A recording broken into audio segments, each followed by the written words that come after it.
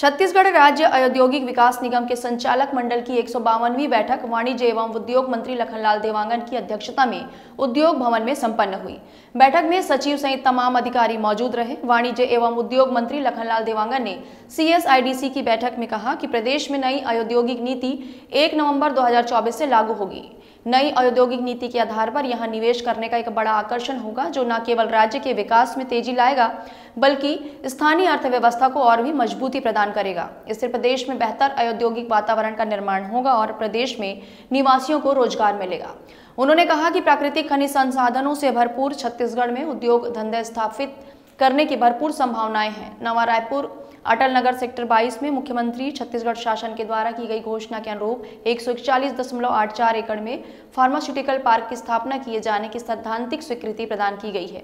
Park की स्थापना से निवेश के साथ साथ स्थानीय रोज़गार को भी बढ़ावा मिलेगा और इसके साथ ही कई महत्वपूर्ण निर्णय भी लिए गए।